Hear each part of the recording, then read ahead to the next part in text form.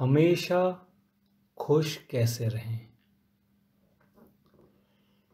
खुशी या आनंद बहती हुई नदी की तरह है। कल कल छल छल बहती धारा। यह ठहरा हुआ पानी नहीं है। किसी कार्य या एक्टिविटी में डूब जाना ही आनंद है।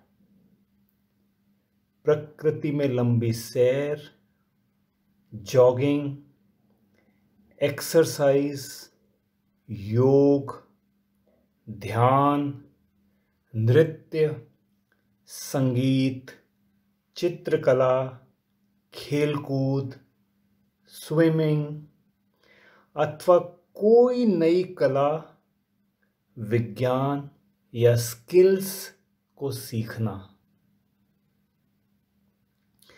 जो भी करना चाहो, उससे खूब गहरा साक्षात्कार करो। डूब जाओ। अपना सर्वस्व उसमें लगा दो। जैसे एक संगीतकार स्वयं को भूल बैठता है। आसपास की उसे सुध नहीं रहती। समय का उसे ध्यान नहीं रह जाता।